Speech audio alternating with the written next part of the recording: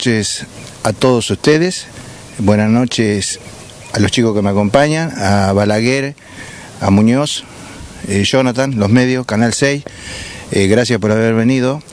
Era para mostrarles eh, el final de una obra que se inició más o menos en el 2014, sí, 2014. fue eh, como me dijo Oscar, un día lo prometido es deuda, nos faltaba la, iluminar la parte sur del cementerio.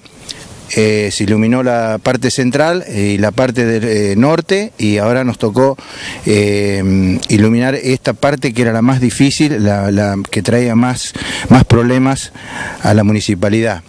Eh, le agradezco a Balaguer, a Muñoz, eh, han, eh, nos han dado luz a estas dos torres y estoy, estamos observando de que han direccionado muy bien los reflectores y con estas dos columnas, con ocho reflectores de 400, nos alcanza em, perfectamente para ver todo este esta parte sur que era la, la más vulnerable a vendríamos a decir al vandalismo.